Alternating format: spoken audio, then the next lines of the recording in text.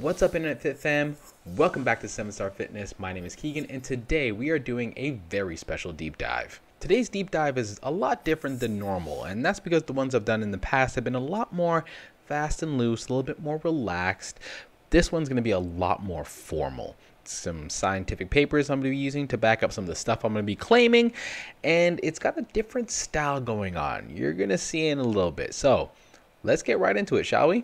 And before we get started with this video, head below it, like the video, and hit the subscribe button and the bell so you can be notified of all of our future content. And it really helps with the YouTube algorithm, which helps push this out to more people so that more people can see what we're doing here, which is evidence-based content for the fitness community, which I really think YouTube and social media as a whole could use a whole lot more of. So help us, help the internet. Like, subscribe, everybody wins.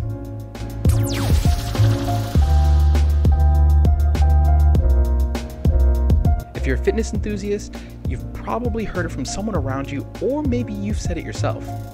If you're a personal trainer, you've probably heard this more times than you've heard your own name.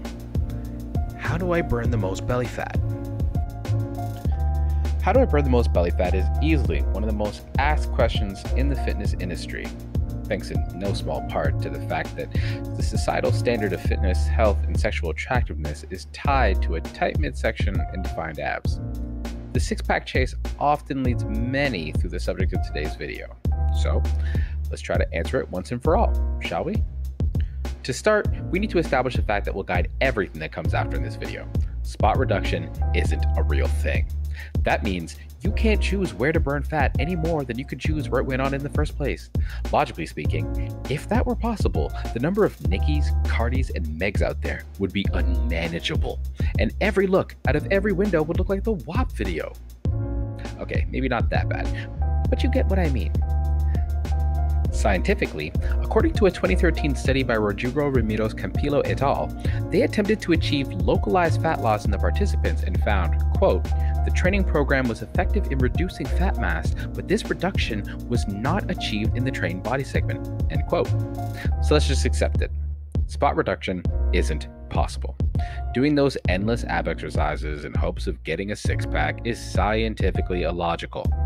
Getting rid of fat in a particular area of your body, even your belly, will have to come as a result of fat loss over the whole body. This means the conversation has to move to what exercise burns the most fat. Ignoring the complexities of energy systems and their usage of various macronutrients as energy sources, we'll jump past it to talk about fat loss resulting from calories burned to end up with the right question here. What exercise burns the most calories? If you've been in the gym long enough, you might have your suspicions, but let's get to some science so we can find a proper answer and explanation. In a comparative study by Paul H. Falcone et al., when looking at caloric expenditure of aerobic resistance or combined high intensity interval training using a hydraulic resistance system in healthy men, they found that HIT done with a hydraulic resistance training system was the most effective over all other training modalities. So, to start, HIT style training with resistance, specifically hydraulic resistance, seems to be the best. This would mean sets of 20 seconds at max effort, 40 seconds of rest for approximately 7 minutes if you wanted to replicate the study's results. But what exercises would make the best use of this info? For that, we look to a 2017 study by Reis et al. Their study aimed to estimate the energy cost across various intensities at eight popular resistance exercises half squat, 45 degree incline leg press, leg extension, horizontal bench press, 45 degree incline bench press, lat pull down, tricep extension, and bicep curl. The findings were really interesting. They unsurprisingly found that lower body exercises had a much higher energy demand than upper body exercises, but the exercises that topped the list were actually half squat and leg extension, which beat out leg press. Though not a perfectly designed study, the data is interesting. So, now we know the modality and we know the muscle groups to make use of. So, how would I structure a workout based on this info? I'd start with 10 minutes low to moderate intensity cardio to start, followed by leg swings and floor sweeps. Appropriately warming up the lower body would be key to avoiding injury.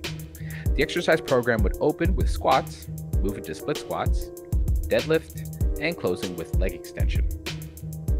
Obviously, there are a number of variations one could use in terms of exercise choice, but I feel the use of more compound movements makes the most sense. Though I would be very tempted to replace the deadlift with leg curl, as I'm curious if the higher expenditure seen in leg extension versus leg press would be similar for leg curl versus leg press. The workout is set up with the understanding that not everyone's going to have access to a hydraulic system at their gym or wherever they happen to be working out. If that's the case, go ahead and use regular weights in replacement of the hydraulic system done in the HIT style though. The original study didn't compare standard weight resistance to hydraulic systems, but I'd be willing to bet that the results would be pretty similar, although I do think that the hydraulic system would probably still win out in the end. That being said, if you do have access to a hydraulic system, use it. So now we know the two exercises that have the highest caloric expenditure according to these studies, that being the half squat and the leg extension. So what other exercises would you pair with them in order to get the best effect or just to better match what you like doing in the gym? Whatever it is, comment below let me know. If you have a fitness question that you'd like to see me answer in a video like this, go ahead and throw that into the comment section below the video. I'll take a look at it and I'd love to integrate it into a future video so that you can have the answer we can get some cool content on the channel. Also follow me on social media, Twitter, Facebook, Instagram, all those social media links will be in the description below the video. Uh, of course, especially Instagram because I plan on doing some giveaways in the future. I want to do giveaways and maybe some pre-workout stuff like that. So make sure you follow me there, especially so you can be part of that when I actually start doing that. And if you like what you just saw, make sure you like like the video and subscribe to the channel so you can be notified of all the future content we got coming up on the channel. It really helps us with the YouTube algorithm and I appreciate every single one of you stars in the galaxy out there. And of course, stay shining because the galaxy can only be a bright and beautiful place if we all shine together. Peace.